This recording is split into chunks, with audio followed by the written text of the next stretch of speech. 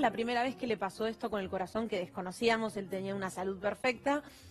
Y yo estaba en el gimnasio entrenando y me vine a buscar. Ya cuando lo veo, le veo un color raro, raro, estaba como muy pálido. Me dice, me siento mal. Bueno, pero podía, podía ser algo del estómago. Él lo atribuía al estómago. Decía, me tomé un vaso de leche porque sentía una molestia acá en el estómago, pero no se me pasa.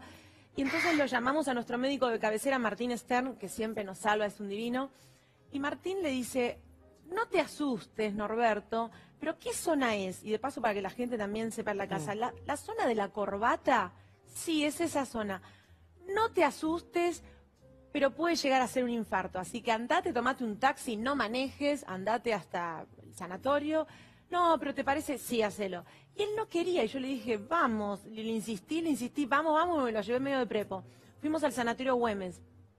Le hacen un primer chequeo y la enfermera le dice, señor, usted está perfecto, vuelvas a su casa. Nos estábamos volviendo, caminamos tres o cuatro pasos y de pronto se mete delante de nosotros dos una mujer muy joven, mm, muy bonita, eh, y le dice, señor, ¿usted a dónde va? Voy a mi casa porque me hicieron los estudios y me dijeron que está bien. No, señor, usted se queda acá. Más o menos que lo increpó, no lo dejó hablar, lo llevaron a terapia intensiva. Esta mujer se quedó todo el tiempo al lado de él preguntándole, ¿cómo te sentís del 1 al 10? Uno, porque se sentía fatal. Ya te vas a sentir mejor. ¿Cómo te sentís? De ahí hasta que llegó a sentirse bien. Bueno, le provocaron el infarto porque ya lo estaba haciendo, le pusieron los estén y la mujer nunca más la pudimos ver. Preguntamos por ella, buscamos cielo y tierra y además la vimos los dos, no es que pudo haber Pero sido estaba él. vestida de enfermera o... Estaba vestida de blanco, tenía como una camisola larga blanca.